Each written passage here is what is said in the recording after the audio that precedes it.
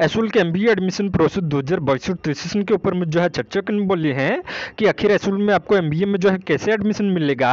साथ में इसको लेकर जो है एलिजिबिलिटी और क्राइटेरिया क्या है? साथ में इसका एडमिशन फॉर्म जो आपको कैसे फिलअप करना है? एमबीए में जो है टोटल कितना सीट है? एमबीए जो है टोटल कितने सालों का होगा? इसकी जो है फ़ीस कितना होगा? तो पूरे डिटेल में आज हम इसी के ऊपर में जो है चर्चा करने वाले हैं। बाकी अगर आप चैनल पर नए हो चैनल को सब्सक्राइब कर लीजिएगा।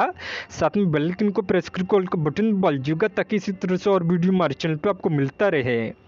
तो दोस्तों, एसुल के ऑफिशियल वेबसाइट जो कि SOL dot D U dot A C dot in इस पर आओगे तो यहाँ पे आपको जो है नीचे एडमिशन फॉर्म का जो है लिंक देखने को मिल जाएगा।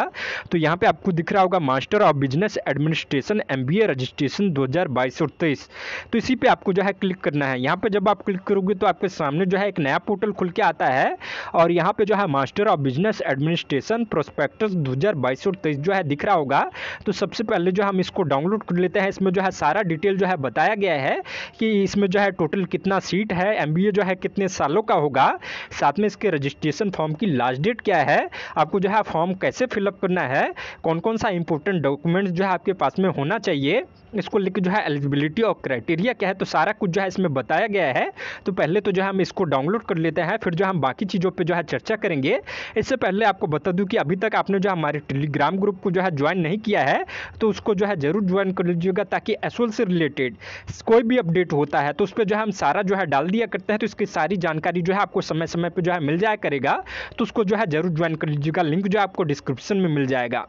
तो यहाँ पे जो है देख सकते हो हमारे सामने जो है प्रोस्पेक्ट डाउनलोड होकर आ चुका है तो अब जो हम नीचे चलते हैं और देखते हैं कि आखिर इसमें जो है क्या चीज़ कहा गया है तो यहाँ पे जो है सबसे चीज़ जो है एक इंपॉर्टेंट देख सकते हो ये जो है एमबीए आपका जो है दो साल का होगा यानी कि टोटल जो है चार सेमेस्टर का होगा यानी कि चार सेमेस्टर के अंदर जो है आपको ये जो है पढ़ाया जाएगा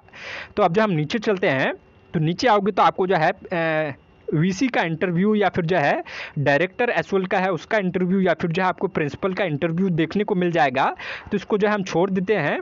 हम जो है नीचे चलते जो इंपॉर्टेंट बातें हैं हम आपको जो है वही बताएँगे तो आपको जो है नीचे आना है नीचे आना है यहाँ पे जो है आप जो है अबाउट द डिपार्टमेंट के बारे में जो है पढ़ सकते हो कि आखिर एसएल जो है क्यों खोला गया था इसका मकसद क्यों है एमबीए जो है क्यों स्टार्ट किया गया इसके बारे में जो है दिया हुआ है बाकी अकेडमिक स्टाफ के बारे में जो है दिया हुआ है इनका ईमेल आईडी भी जो है यहाँ से आपको जो है मिल जाएगा तो कोई भी प्रॉब्लम है तो इन पर जो है आप कॉन्टैक्ट भी कर सकते हो अब जो हम चलते हैं इंपॉर्टेंट इन्फॉर्मेशन पे तो यहाँ पे देख सकते हो कि आपका जो है पाँच अक्टूबर को जो है प्रोस्पेक्टिस इसका जो है रिलीज़ कर दिया गया था उसके बाद जो है रजिस्ट्रेशन फॉर्म जो है सात तारीख को रिलीज़ किया गया है उसके बाद जो है रजिस्ट्रेशन की जो लास्ट डेट है वो जो है पच्चीस अक्टूबर है तो पच्चीस अक्टूबर तक जो है आप इसके रजिस्ट्रेशन फॉर्म जो है फिलअप कर सकते हो बाकी उसके बाद जो है मेरिट लिस्ट जो है आपका सत्ताईस अक्टूबर को जो है जारी किया जाएगा और मेरिट लिस्ट में जिसका भी जो है नाम होगा उसके बाद जो है उन्हें एडमिशन जो है मिल जाएगा और एडमिशन के लिए जो है सत्ताईस अक्टूबर से लेकर इकतीस अक्टूबर के बीच में आपका जो है एडमिशन होगा पहले लिस्ट का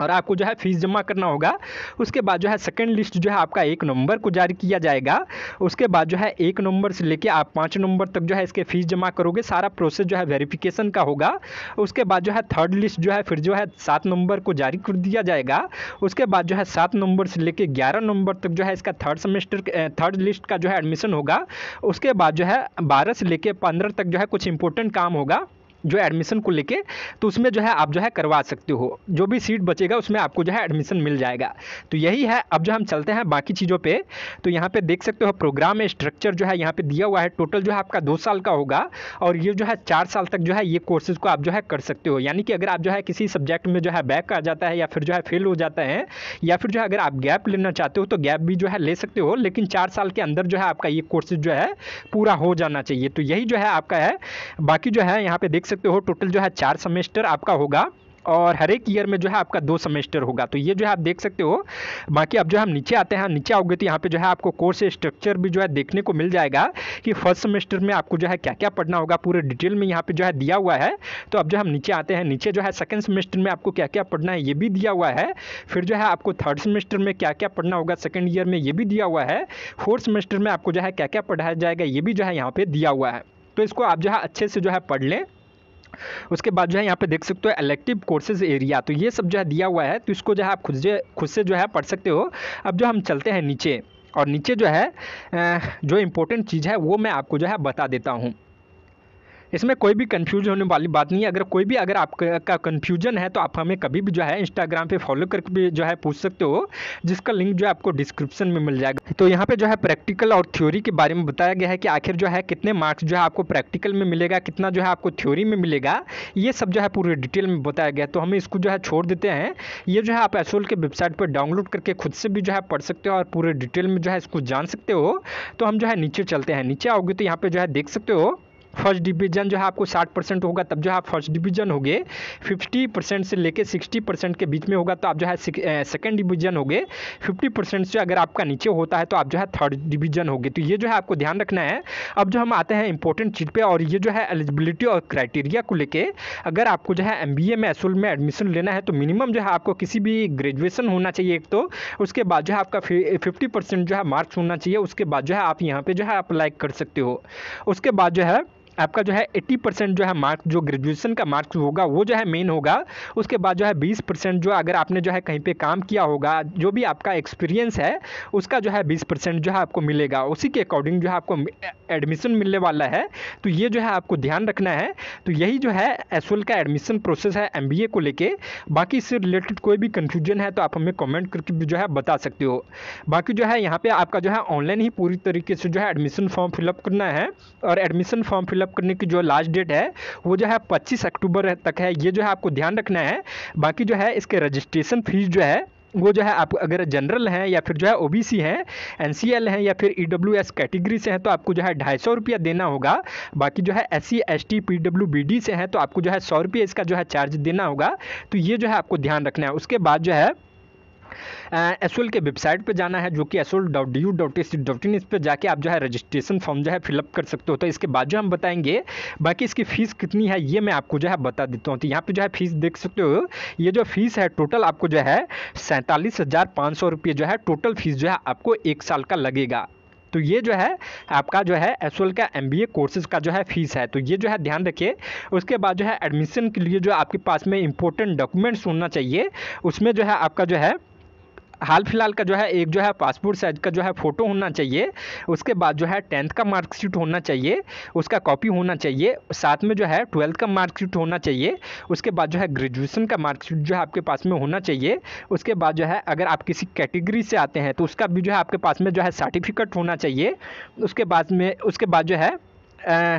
जो भी आपके पास में जो है सर्टिफिकेट है, वो सारा जो है सर्टिफिकेट होना चाहिए। उसके बाद जो है, अगर आप जो है फ़ीस जो है रजिस्ट्रेशन करवा, करवाते हो तो आपका जो है ऑनलाइन ही होगा। तो इसके लिए जो है आपके पास में एक अकाउंट भी होना चाहिए। अगर आप जो है खुद से एडमिशन ले रहे हो, बाकी जो है साइबर साइबर कैफ़े से एडमिशन लोगे तो आपको जो है पाँच सौ एक्स्ट्रा भी लगेगा और वहाँ पर जो है कर दिया जाएगा। तो ये जो है आपको ध्यान रखना है।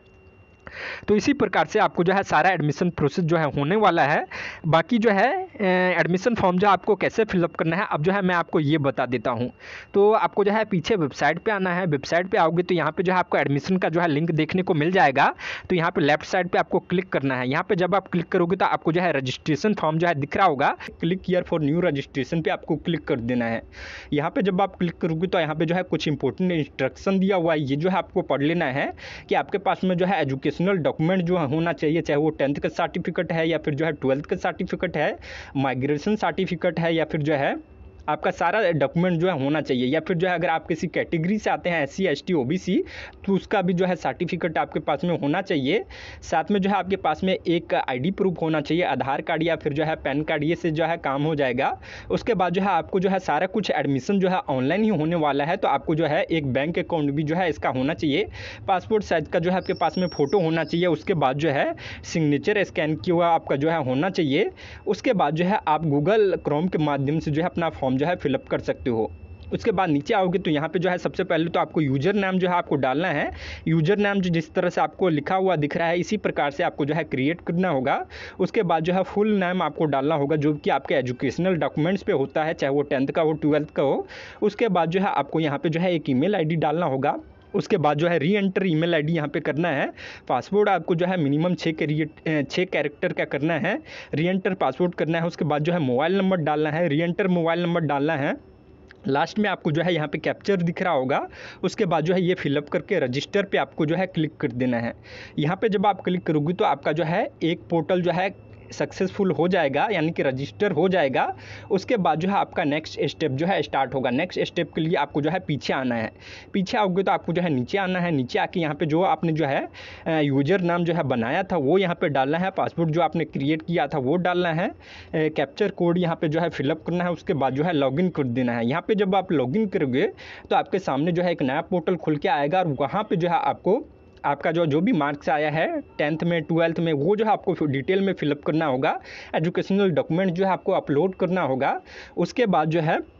आपको अपना जो है फ़ोटो जो होगा, वो जो है अपलोड करना होगा सिग्नेचर अपलोड करना होगा, बाकी जो है एप्लीकेशन फ़ीस का चार्ज जो है अलग आपसे किया जाएगा तो यही जो है टोटल हमने जो है पूरे डिटेल में समझा दिया है। बाकी जो है और भी कोई सवाल है इससे रिलेटेड या फिर कोई कन्फ्यूज़न है तो आप हमें कमेंट करके या फिर जो है कभी भी इंस्टाग्राम पे फॉलो करके भी जो है पूछ सकते हो बाकी हमारे टेलीग्राम ग्रुप जो है ज़रूर ज्वाइन कर लीजिएगा एक जो है डिस्कशन ग्रुप मिल जाएगा और एक जो है आपको जो है हमारे चैनल का जो है ग्रुप मिल जाएगा तो उस पर आप जो है कभी भी जो है कोई भी अपडेट होता है तो सबसे पहले जो है उसी पर हम डालते हैं तो वो जो है आपको सारी जानकारी जो है मिल जाया करेगा बाकी न्यू कोर्सेज़ का जो है यहाँ पर हमने जो है ऑलरेडी समझा ही दिया है कितने कोर्सेज है? टोटल जो है इस बार नौ कोर्से